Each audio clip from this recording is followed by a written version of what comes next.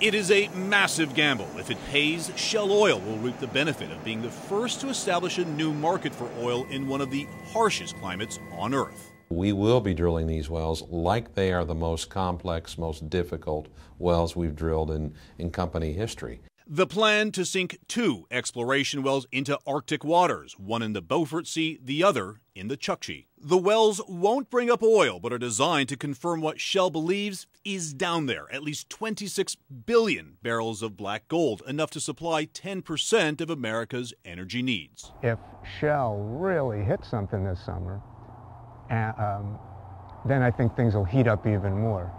It's going to be a gold rush for oil. It'll be, a, it'll be an undersea gold rush for oil. But some of the native people who live here, the Inupiat Eskimos, fear if the oil starts to flow, their way of life could be threatened.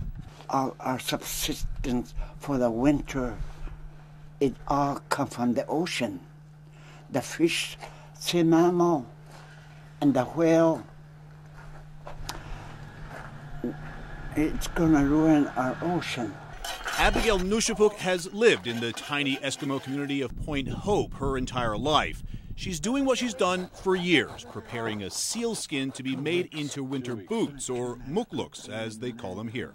When you're 79 years old, you don't move like a young lady, but you have to keep on working on these skins. She, like everyone else here, uses every bit of the animal. Same goes for walruses and especially whales. The people here still get by, mostly like they've done for thousands of years, surviving the brutal winter by hunting whales and other sea animals during the short but intense summer.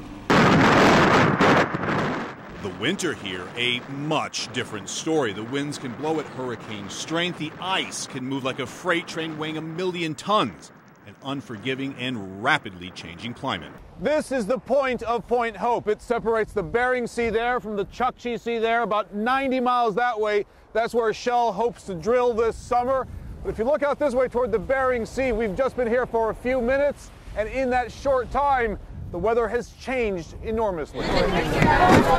It's a story we've heard before. Tradition and culture threatened by change, modern life, and necessity. This time, the stakes couldn't be higher oil that could help power an American boom, pitted against a way of life for people living on the edge.